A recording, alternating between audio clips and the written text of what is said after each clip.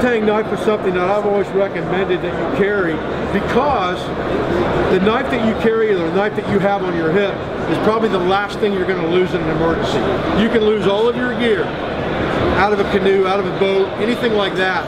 But unless you steal, somebody steals your pants, you're probably not going to lose your knife. So the knife that you carry on your hip has to be capable of doing lots and lots of things in the short-term survival scenario. It has to be capable of fine carving and processing in case you have to make something that to start a fire with or process fine tinder materials and do fine shaving work.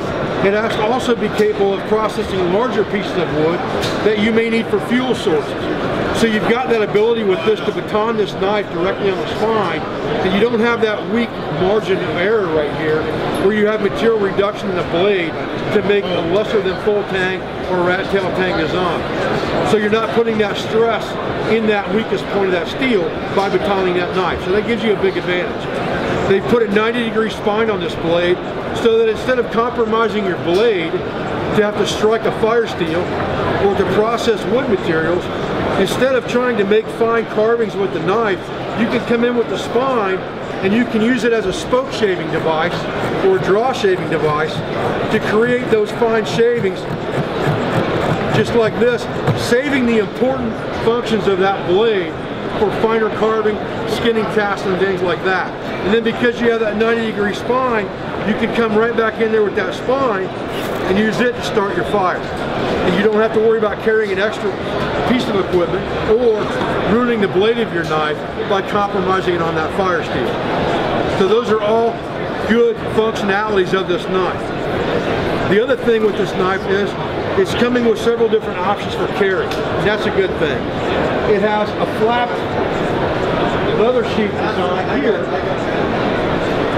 that gives it full retention, a flap that covers over, you're never going to lose it. You turn it upside down in a canoe and you fall out, the knife is never upside down to the point where it's going to come out of anything. It's always retained in that leather sheath. It's going to protect it from wear and tear. Because it's stainless steel, it's going to be protected fairly well from rust anyway. But one of the things that I find that's an advantage to leather over Kydex in wetter environments like down south in the swamps, in a jungle, is sand and dirt. When you get sand and dirt in Kydex, especially, when you put your knife in there, it tears up the blade. It scratches the blade. It's very hard to clean that Kydex out.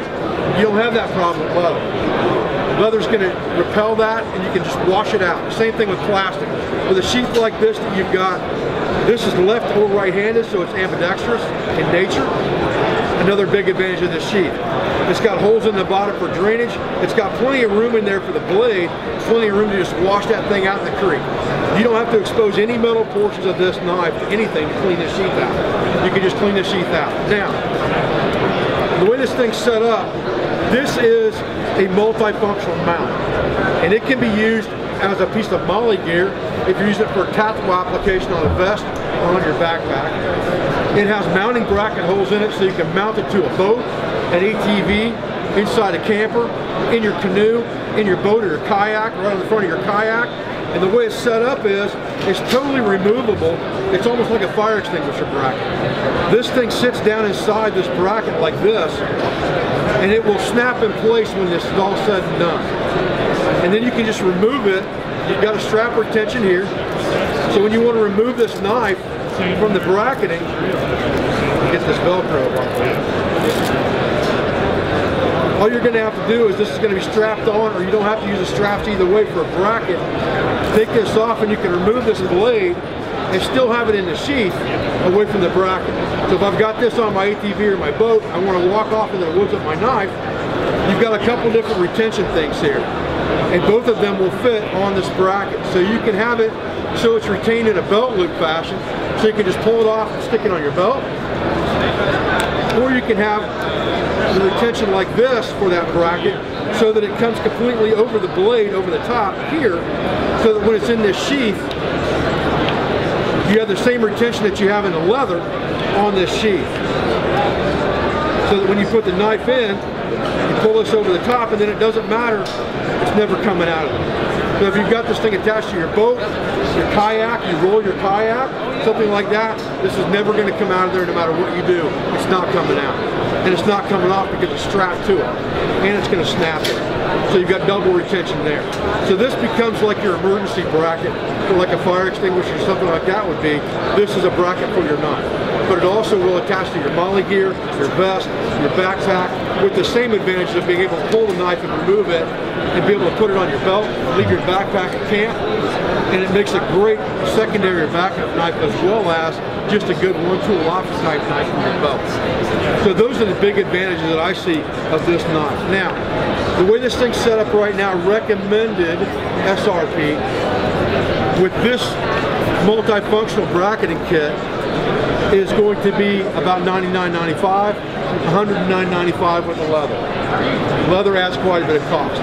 So I've already heard a lot of people say, well, it's a Mora knife. How's come that thing's 100 bucks? New technology is why it's 100 bucks. You've got the highest quality stainless steel in this knife that you could possibly get.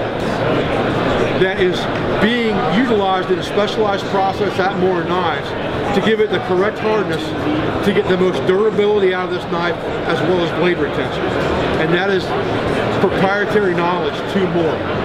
Okay? You also have new material in this handle that's revolutionary that resists wear and tear.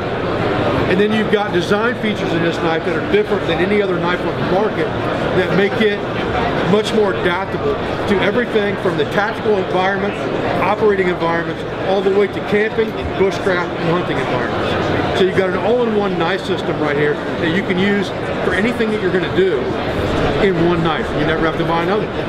Because I've never seen Mora ever tell anybody, I won't replace that knife. So if you ever did anything to that knife, I'm sure you could get another one real quick.